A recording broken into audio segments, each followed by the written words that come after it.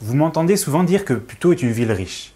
Et pourtant, vous lisez aussi régulièrement les plaintes de Joël Secaldi, sous prétexte que l'État asphyxierait, je cite, la ville. Alors plutôt, ville riche ou ville asphyxiée?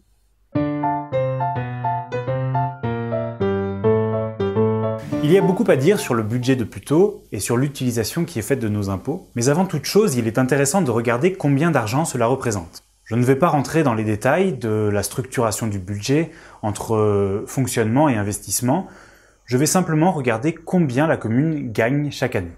Pour le reste, ça fera l'objet d'autres vidéos un peu plus tard. La direction des impôts met à disposition de chacun les données des budgets de toutes les communes de France. Vous trouverez le lien dans la description de la vidéo. Le dernier budget disponible est celui de 2017. En 2017, la ville de Puteaux a gagné environ 287 millions d'euros. Alors dans l'absolu, ça n'évoque pas grand-chose.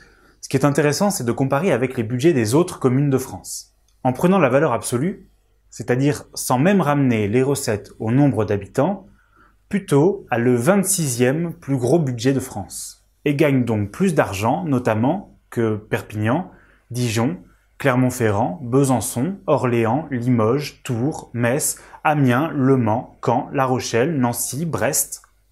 Pas mal pour une petite ville de 3,2 km et 45 000 habitants. Et justement, si on rapporte ces recettes au nombre d'habitants, c'est là que ça devient vraiment intéressant. Voici la répartition des budgets par habitant des villes de plus de 10 000 habitants. Vous voyez que ça tourne en moyenne autour de 1875 euros de recettes par habitant. On voit qu'il y a quelques communes qui se distinguent, telles que Cannes avec ses touristes et ses festivals, Gravelines avec sa centrale nucléaire la plus puissante de France, Fos-sur-Mer avec ses nombreuses industries polluantes, et plutôt Eh bien plutôt c'est ici. 6400 euros de recettes par habitant. Donc non seulement Puteaux est officiellement et définitivement la ville la plus riche de France, mais en plus elle est largement devant, puisqu'elle gagne plus de 1000 euros de plus par habitant, soit près de 17% de plus que la deuxième ville la plus riche de France. Donc non, Puteaux n'est pas riche, Puteaux est très très riche. Il n'y a pas plus riche en France. Voilà qui clôt le débat.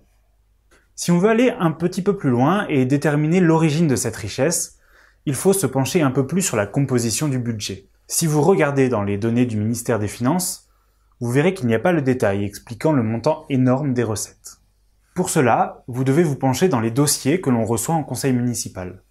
Des tableaux, des tableaux de chiffres à n'en plus finir, qui n'encouragent pas vraiment le contrôle citoyen. De mon côté, je les parcours chaque année pour préparer mes interventions, donc euh, je peux vous indiquer où regarder. C'est ici, sur la ligne Attribution de compensation. L'attribution de compensation, c'est une sorte d'énorme paquet, plus de 110 millions d'euros comme vous voyez, dans lequel on trouve plein de choses. Mais sa principale composante, c'est l'ancienne taxe professionnelle.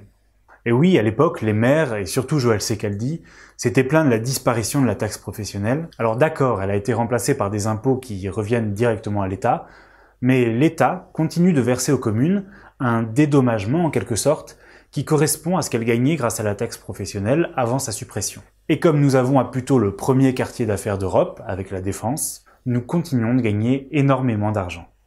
Plutôt très riche en 2017 avec 287 millions d'euros, et pour 2019, eh bien le budget prévoit près de 310 millions d'euros de recettes. L'argent appelle l'argent. Maintenant, si vous souhaitez avoir un aperçu de ce que Puto fait de cet argent, vous pouvez consulter mes autres vidéos, vous abonner à ma chaîne YouTube, ou bien consulter les articles de mon blog francis.poesevara.com. À bientôt!